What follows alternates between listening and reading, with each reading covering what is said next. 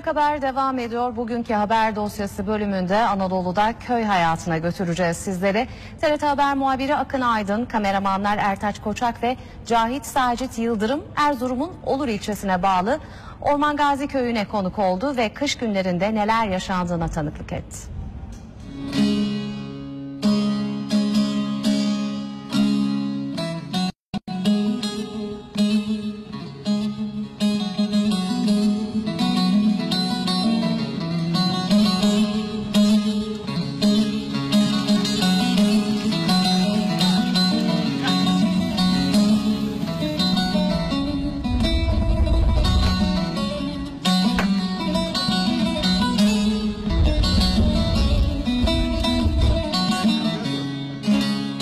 Sisli dağlar, çam ağaçları, irili ufaklı evler. Doğu Anadolu'da nereye giderseniz gidin az çok böyle bir tabloyla karşılaşacaksınız. Karın 6 ay yerde kaldığı bu köylerde hayatı beyaz örtü şekillendiriyor. Yazın köylü bağda bahçede. Peki kışın ne yapıyor? Orman Ağzı köyüne misafir olacağız ve bir günlerine birlikte tanıklık edeceğiz.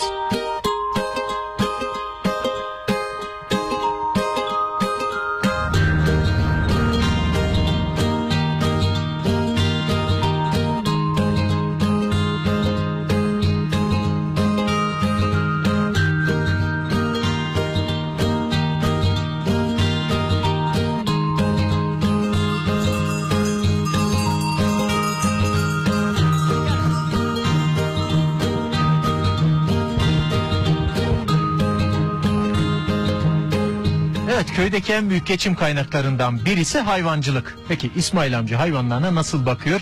Onların bir gün ihtiyaçlarını nasıl karşılıyor? Birlikte öğrenelim.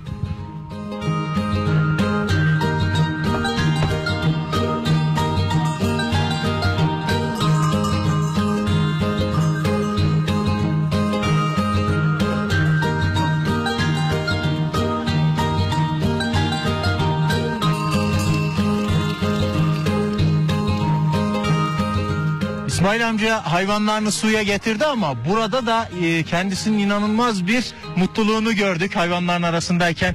Neler söyleyeceksiniz onlara bakmak, onların bu kış ortamında e, meşakkatli de bir serüven ama e, nasıl bir duygu, nasıl bir haz? Vallahi coşkulu bir duygu.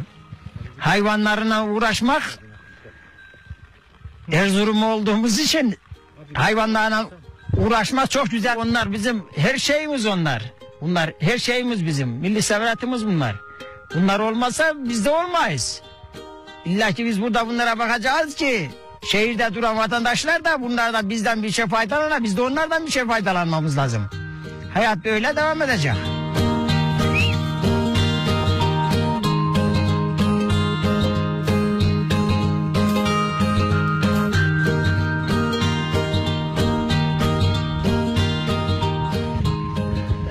Her bir hanede farklı bir çalışma var. Farklı bir meşguliyet var. Burada da abimiz hayvanları için otları e, hazırlıyor. Evet kolay gelsin. Sağ olun Allah razı olsun. Nasıldır kış hayatı köyde? Vallahi kışın bu, buralarda güzel. Eski gibi fazla kar yağmıyor normal.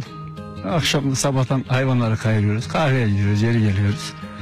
Otları şöyle hayvanlar dökmemesi için saman haline getiriyoruz makineyle. Başka bir iş yok kış. Kış günü başka ne iş olacak? Köylü vatandaş hayvanlarla uğraşıyor. Biz de o zaman size yardım edelim. E, birlikte hayvanlarınıza e, bakalım.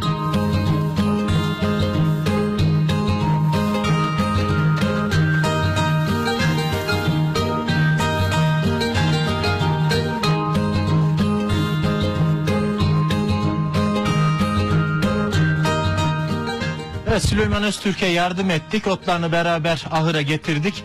E, ne yapacağız şimdi? Sepetten otunu hayvanların önüne dağıtacağız işte hayvanlar. Yiyip karnlarını doyuracaklar.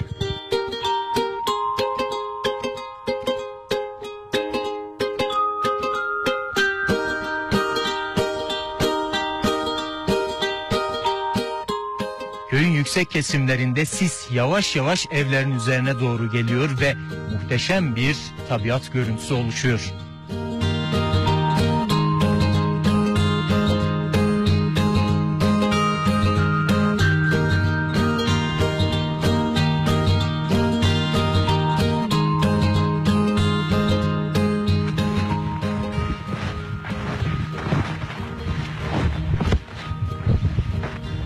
Böylesine muhteşem bir doğayı bulmuşken şöyle çam ağaçları arasında beyaz örtü üzerinde de küçük bir yolculuğa çıktık.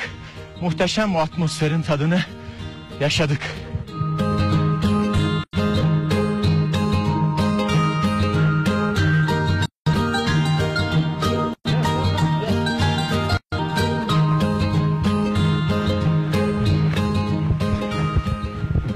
Evet köyde dolaşırken burnumuza mis gibi ekmek kokusu geldi. Biz de tüten bacayı takip ettik ve kokular bizi duman buraya kadar getirdi. Kolay gelsin annem. Sağ ol kardeş Allah razı olsun. Evet zor, meşakkatli bir iş ekmek pişirmek. Dışarıda da soğuk var bu arada. Şanslısınız bir yandan da ama.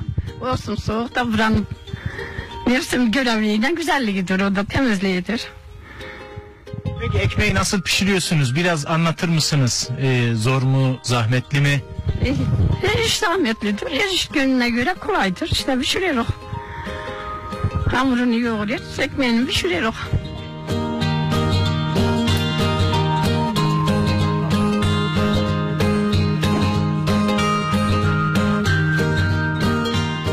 Sokak aralarında gezerken köylülere de kışın nasıl geçtiğini, neler yaptığını soruyoruz. Şimdi de yanımızda Dursun Murat Aydın var. Evet, neler söyleyeceksiniz? Kimse 5 dakika 5 dur boş durmaz. Ee, ahırına gider, ahırını temizler, hayvanlarını e, yemler. Bu, onun için zaten kış günleri kısa olduğu için bu işleri bitirinceye kadar da akşam vakti geliyor zaten.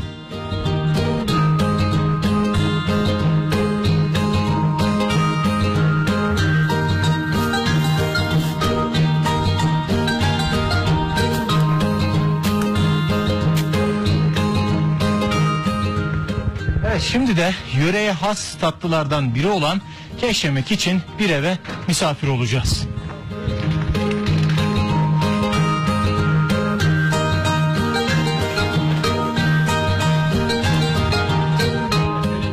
Kolay gelsin. Sağ ol, teşekkür ederim. Hoş geldin. Evet. Hoş geldin. Tatlının e, lezzetini duyduk, geldik. En iyi de siz yapıyormuşsunuz. Nedir bu tatlının sırrı? Bu tatlının sırrı e, hiçbir katkı maddesi katılmadan e, tuttan, undan yapılan bir keş. Biz buna keş deriz. E, kışın tok tutar, sıcak tutar, insanı üşütmez. Yani Peki- çok dayanıklıdır yani. Evet. Nasıl yapıyoruz? Ne e, ne yapacağız şimdi? Ya şimdi ilk önce cevizi kıracağız. E, dibekte önce cevizi döveceğiz. Onun peşine de keşi döveceğiz.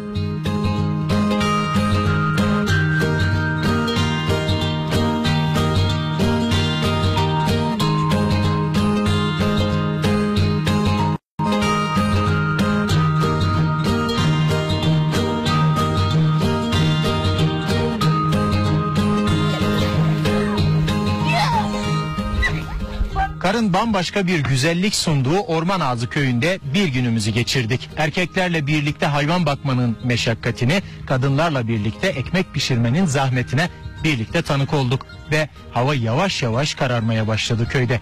Bu da bizim için ayrılık vakti demek.